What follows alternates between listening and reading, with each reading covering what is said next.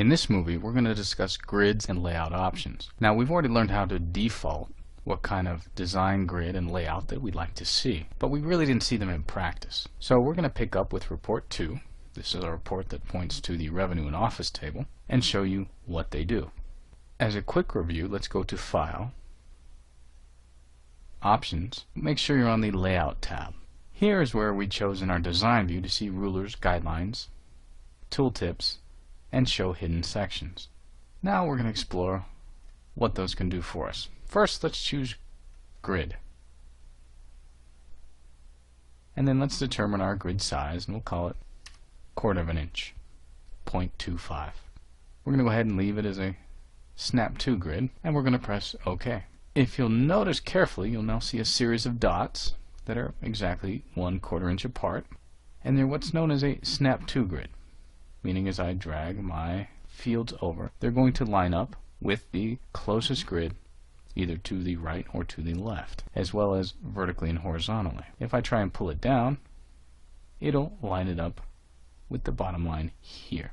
Now, if I go back to my file menu and I say options and I say take off the snap to grid and take off the grid and press OK, now I can move my fields shades of gray to wherever I like. Now keep in mind I still have my guidelines which are a little bit different than my grid. The grid is defined by Crystal as points plotted out in exact geometric order.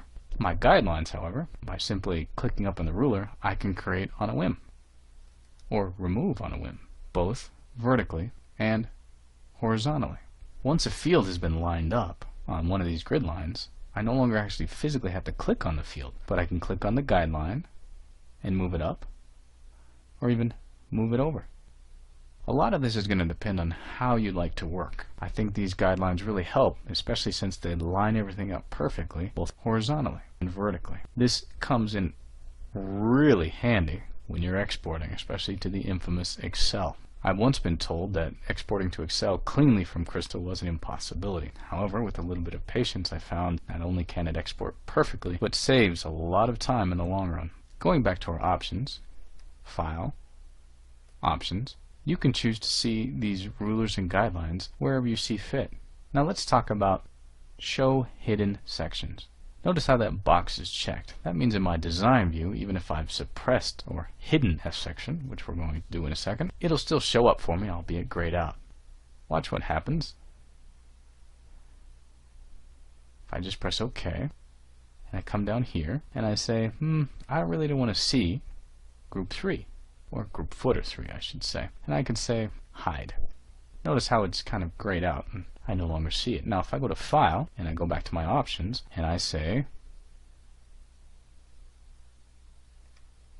take off the show hidden sections button and press OK, notice how they kind of hide out of the way. A lot of it depends on how you want to work. I find it's helpful to see all sections even if I'm hiding them because the group still has an effect on the order and the summarizing of my report. Now, another thing to note is why Crystal does put some default guidelines in there for you, that's exactly what they are. They're defaulted. They're not really user defined. It's Crystal has its method and it basically lines up the field about how many fields to choose by the page width and then tries to fit it all in. Some fields, obviously, especially name fields, will be much longer than, you know, a code or an office field or a revenue amount field. Crystal will also default line up the left-hand side of each object. If you notice, here is my field heading object, and it's lined up here. There's my summary, and it is lined up there. Now you can change that at any time. I can click on it and drag it, and now it's lined up with the right.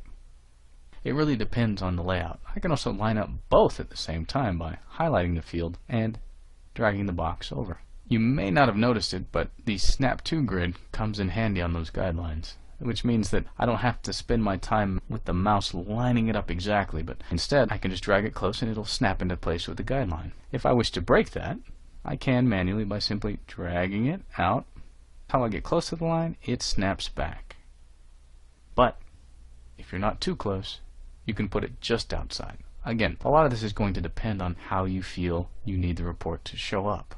I like using guidelines myself. It makes my job easier, and then when it comes time to export, it's very clean. I also recommend that in your options, you show your hidden sections. Because again, even though you may not see them or you may have suppressed them, they do have an effect on the order And it never hurts sometimes, you do need to see them. Notice the grid options are different from the guidelines.